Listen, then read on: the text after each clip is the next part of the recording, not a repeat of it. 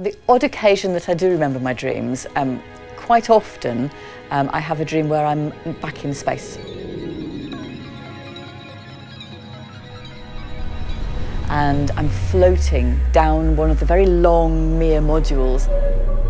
So I would be going past at a nice sort of slow rate, really sedate. And then there's a window approaching.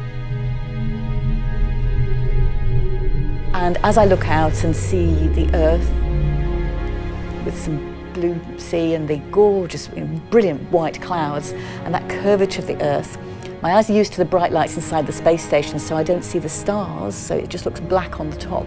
And then floating the opposite direction, coming to join me is first Sergei and then my other crewmates who are up there. And we just stay around this window and together we don't say anything in my dream, we're just there and I can hear them breathing and I can feel their warmth because we're really quite close to each other and we're all just looking out of the window.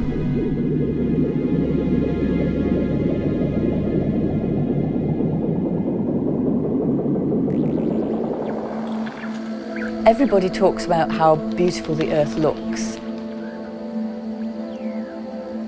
I always felt, in a, a, strange way, both at once disconnected and connected to the earth because I really didn't feel like I was part of it anymore and I was actually looking back at the earth. And yet, I knew that that was my home, that was where I wanted to return. I absolutely wanted to go back.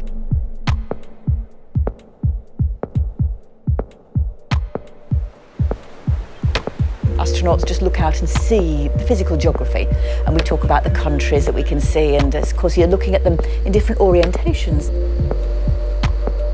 And then after a day or two you stop talking about that and you're starting to talk about the things that you're missing on Earth. It's all to do with the people that you remember back on Earth our families, our friends. And when we go over countries, we don't think about the geography below us, we think about the people who are there and hopefully future meetings that we'll have with them. And so how does that dream end?